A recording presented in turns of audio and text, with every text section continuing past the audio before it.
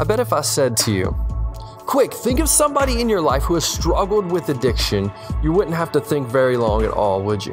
You see, addiction is all around us. It's a struggle that we all seem to face and we all seem to go through. The question is once we are in and consumed and struggling with addiction, how do we get through it?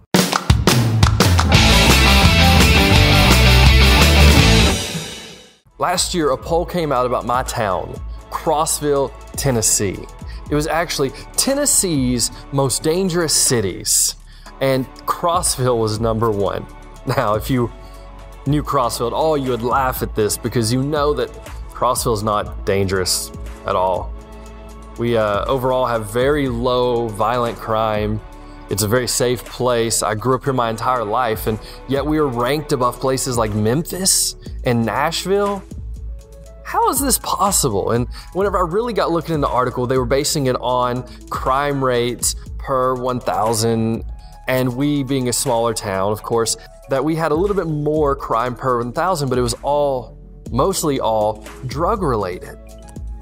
And it's funny that despite the addictions that I've struggled myself and the addictions I've seen all around me almost my entire life, I talk very little about addiction. Yet it's a problem that is plaguing our society today. Whenever I taught a message to my students and asked if they knew someone in their life who was addicted, every single one of them raised their hands. Addiction is all around us. And I'm betting every one of you know someone who has struggled with addiction. I'm betting many of you watching this video have struggled with addiction and are still currently struggling with addiction. If that is you, just know you're not alone and you're not beaten, that you can overcome and you will overcome. And if you've never struggled with addiction, then I want to tell you just a couple things. Don't start. You see, addiction starts off very innocent. Addiction starts out as just a good time, just a couple of friends, just hanging out, just trying this or trying that or drinking this and smoking that. And it starts off very innocent and very minimal because no one just runs outside and starts crack cocaine, right? We, we start small, we start with cigarettes, we start with weed, we start with pills right? It's a natural progression. It's a step by step by step by step because after you've done all these other things, then cocaine doesn't seem that bad.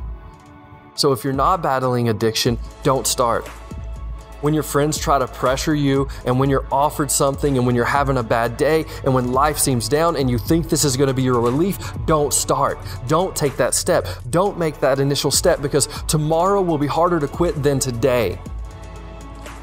And if you don't start today, tomorrow won't be a struggle. But if you start today, you risk becoming addicted and that addiction controlling your entire life. And then if you are addicted and if you are struggling, then I'm telling you right now, make the steps, make the conscious effort to start today. I don't care what excuses are in your head, tomorrow will be harder than today because each day you're in addiction, that addiction becomes stronger in your life and it has more of a stronghold on your heart and it has more control of you each and every day that you're addicted. So make the efforts to start today. I don't know what that effort looks like to you, whether it's talking to a family member, whether it's looking into rehab, whether it's flushing those pills down the toilet, whether it's talking to your wife or your husband. I don't know what that looks like, but make the effort today because tomorrow will be harder. You can't just ignore addiction. Addiction is strong, it is tough, and it will defeat you. Paul says in 2 Timothy 2:22, "Flee the evil desires of your youth and pursue righteousness, faith, love, and peace along with those who call on the Lord out of a pure heart." Paul says that those desires, they are too strong and that you must flee from them, that you must run from them, that you cannot simply sit here and ignore them, that if you are in addiction, today has to be the day that you flee from them. I'm pleading with you today. Don't think that you will be stronger tomorrow because you won't. You are strongest today because tomorrow is going to be harder. And that heartache you're facing today will not be better tomorrow. That heartache you're facing today, tomorrow's will be worse and there will always be an excuse for a reason to go back to it. So make today the day that you overcome. Today's the day that you flee. Today's the day that you run away. Today's the day that you move forward and you never look back. That day is today. And don't think that those friends that got you in it, that you could still hang out with them until you are all the way through. That you have to flee from addiction. And that may mean that you have to leave those friends and leave that family. And you have to get away from that boyfriend or you have to get away from that girlfriend. You've got to get away from that sibling, that one that is dragging you down. You may have to flee from them. You may have to leave that job. You may have to get rid of that stress, but you have to do it today. Tomorrow is not the day. Today is the day you have to do it. So if you're watching this video, this is God putting a conscious call on you. Tomorrow is not the day. Today is the day. Don't procrastinate. Flee, run, sprint, get away today. Your tomorrow self will thank you about what you did today. If not, tomorrow you'll wish you did it today. Guys, I'm pleading with you.